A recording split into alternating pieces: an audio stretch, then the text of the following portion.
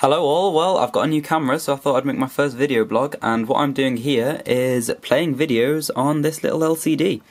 So obviously I've written a dithering algorithm before which I've got a blog post about but uh, I've now written it for videos and I'll be converting this video of me really embarrassingly playing bass which I'll just show you now.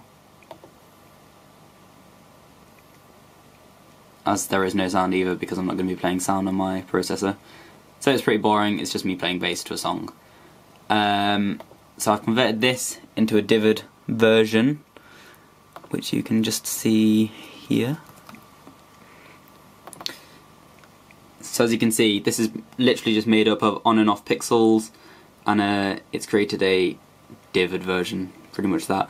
But uh, this is currently at the original video resolution, so obviously I have to, well, scale it down to fit on the actual LCD and uh, I'll show you the result of that here.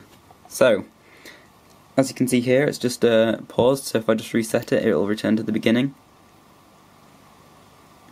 Now, the quality is absolutely shocking because the original video is 64480 and this video is 84 by 48, so uh, it's not quite as good.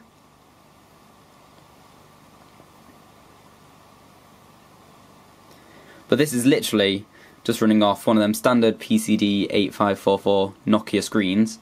Uh, I've got an SD card here and my STM32 F0 Discovery here and all of the actual processing is done within MATLAB on my computer because video rendering takes absolutely ages and the video data is just streamed straight off the SD card into the processor and to the LCD. Thanks for watching.